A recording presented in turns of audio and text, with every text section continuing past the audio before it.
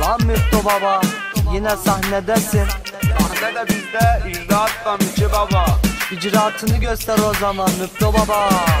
O da seviyormuş ayan tiplerin. Nike Adidas gibi hızlı gençleri. O da seviyormuş ayan